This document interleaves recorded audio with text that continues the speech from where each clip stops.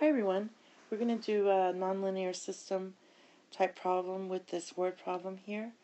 We have the product of two numbers. I'm going to let the two numbers be x and y is 10. So x times y equals 10. The difference of their squares, so I'm going to square each one, but subtract, is 21.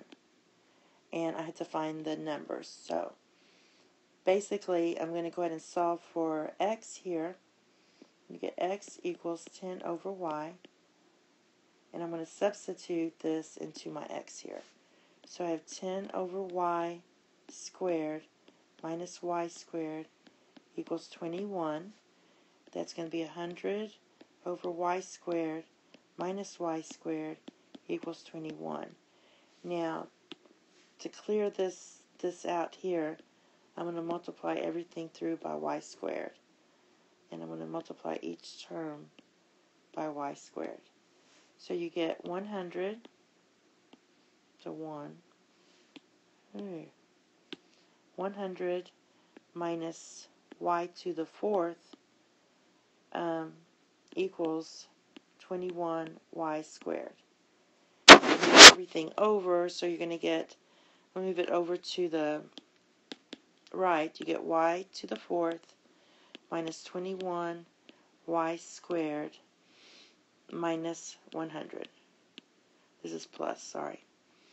So we're going to factor, you're going to get y squared, y squared, and I'm going to do 25 times 4. So this is going to be uh, plus here, minus here.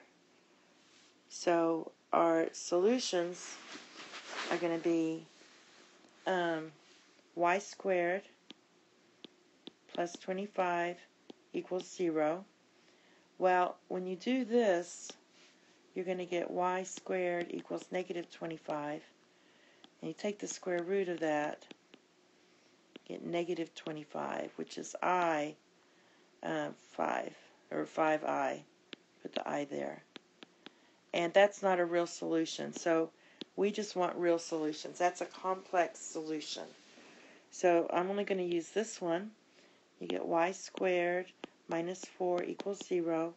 So y squared equals 4. Therefore, y equals plus or minus 4. And I'm going to go ahead and put this all on this page here. So I'll use green.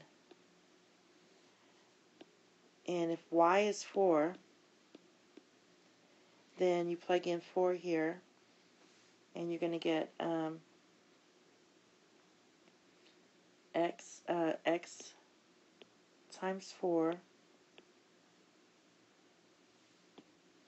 actually uh, did you catch that? This should be plus or minus 2 so it's actually my two solutions for that. Y I have two solutions for my y here and they're plus and minus 2. So I'm going to put 2 here or negative 2.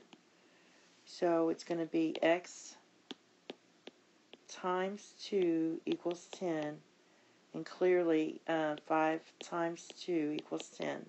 So this would be 5.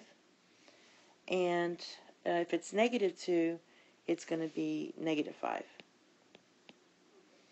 So my x and y can either be, my, my two numbers are 5 and 2, or my numbers are negative 5 and negative 2. Okay? Thank you and have a nice day. Bye-bye.